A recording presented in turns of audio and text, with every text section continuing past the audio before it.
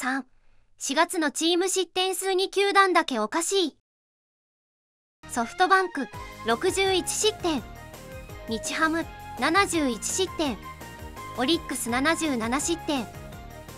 西武78失点。ロッテ88失点。楽天106失点。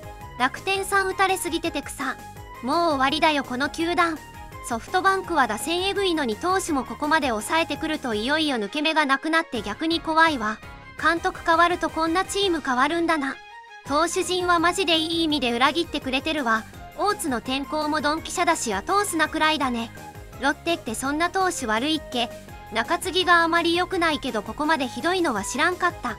ソフバンは絶対的エースは今のとこいないけど先発の数は揃ってるからな。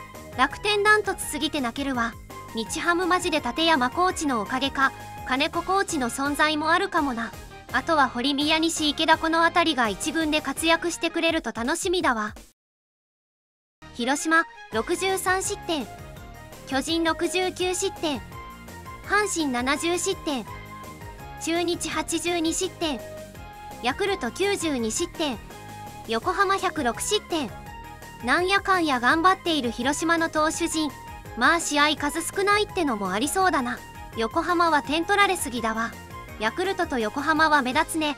ヤクルトは得点も多いし得失点はプラスなのに最下位なのかわいそう。阪神がやっぱ強いよな。中日も悪くはなさそう。さすがに1ヶ月で100点以上取られるのはきついわ。最後までご視聴ありがとうございました。チャンネル登録と高評価をよろしくお願いします。